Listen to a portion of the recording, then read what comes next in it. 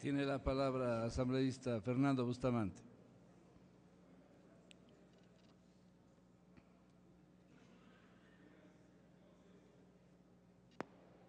Buenas noches, eh, señor presidente, señoras y señores asambleístas. Me cumple en esta noche presentar el informe para el segundo debate del proyecto de ley derogatoria del artículo 38 de la Ley de Migración y de exoneración de pago económico tributario en favor de los ciudadanos haitianos que ingresaron al Ecuador hasta el 31 de enero del año 2010 y se hallan actualmente en situación irregular en el territorio ecuatoriano. Si bien ya algunas de las consideraciones que haré a continuación fueron hechas con ocasión del primer debate en torno a esta ley, a este proyecto de ley, es necesario de todas maneras recapitular y explicar la necesidad que tenemos de demostrar de modo real, en una forma concreta y en una forma visible y eficaz la ayuda al pueblo haitiano afectado como es de público conocimiento por las catástrofes y los efectos de un terremoto que ha provocado un inmenso dolor humano, una inmensa destrucción y una gigantesca mortandad. El pueblo haitiano ha sufrido de manera gravísima los embates de la naturaleza y también de las debilidades que conocemos de su tejido institucional y de su sociedad. Es necesario cumplir con esta obligación humanitaria que incluso si no mediara una obligación constitucional, así como una obligación internacional ante la comunidad de las naciones, nos debería impelir a buscar formas concretas de canalizar esta ayuda. Ciertamente el Ecuador ha mostrado su generosidad y su compromiso con los valores humanitarios a través de la colaboración material y personal especializado, por ejemplo, en rescatistas, que se constituyeron en el país antillano para socorrer a las víctimas y ayudar a su sociedad en el proceso de reconstrucción. Sin embargo, todavía tenemos un compromiso por cumplir en esta materia. Este se haya contenido en la decisión de Quito del 9 de febrero del año 2010 de la UNASUR, de la Unión de Naciones Sudamericanas, que nos demanda y nos exige contribuir mediante la cooperación internacional a ayudar a Haití, a ayudar a los ciudadanos y ciudadanas haitianos, continuar con la ayuda humanitaria emprendida por los Estados miembros y respaldar el llamado del relator especial de Naciones Unidas para condonar deudas, entre otros. Es también extremadamente importante que el Ecuador tome los pasos necesarios para permitir una real acogida de ciudadanas y ciudadanos haitianos, así como también de huérfanos y otras personas afectadas que se encuentran en nuestro territorio en situación de extrema vulnerabilidad. El proyecto que presentamos tiene como objetivo inmediato precisamente facilitar la ayuda que permitiría agilizar ese proceso mediante el cual nuestra nación pueda cumplir con este compromiso, dar la debida acogida a los afectados y recibir en el seno de nuestra sociedad a estas personas de origen haitiano que se hallan en estado de necesidad.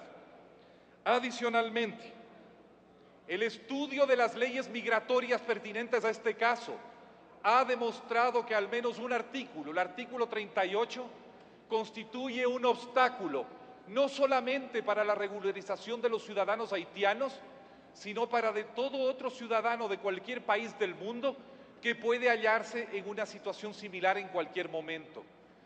Lo que ha ocurrido con nuestras hermanas y hermanos haitianos, nos hemos dado cuenta con dolor que puede ocurrir a cualquier nación o nacionalidad del mundo. La situación sísmica y de catástrofes naturales que vive la humanidad en este momento trajo consigo, al poco tiempo de la catástrofe haitiana, otras grandes hecatombes naturales que han puesto a otras poblaciones del mundo en igual situación o a similar situación de vulnerabilidad.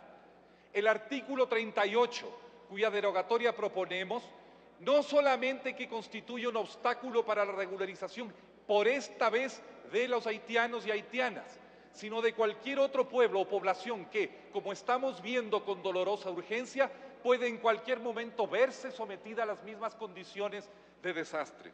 Es necesario que nuestra legislación ya no como simplemente como caso de excepción, sino de manera permanente establezca eh, que una serie de barreras innecesarias, y trataremos de justificar en el futuro esto, ¿no es cierto?, tienen que ser removidas.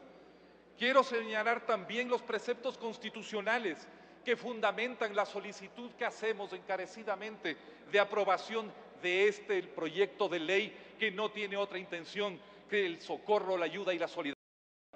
Me refiero al artículo 11, numeral 2, que señala que todas las personas son iguales y gozarán de los mismos derechos, deberes y oportunidades y que nadie podrá ser discriminado por su situación migratoria.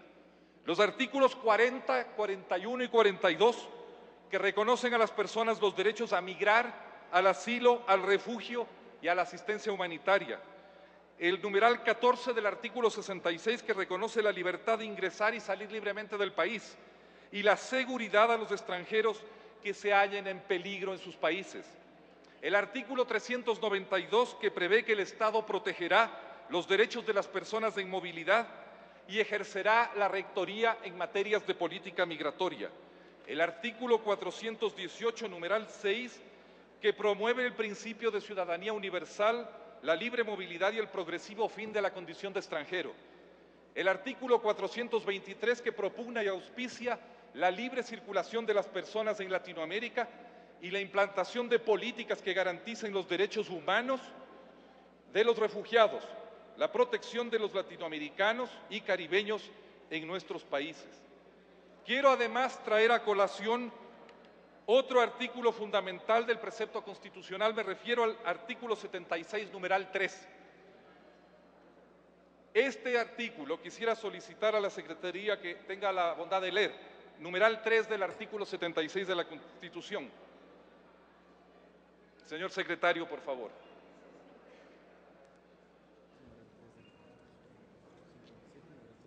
Inmediatamente, señor presidente.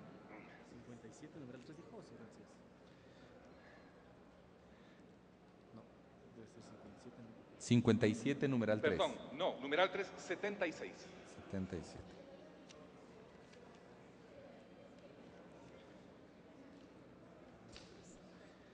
Constitución de la República del Ecuador. Artículo 77. En todo proceso penal en que se haya privado de la libertad a una persona, se observarán las siguientes garantías básicas. Numeral 3. Toda persona en el momento de la detención tendrá derecho a conocer en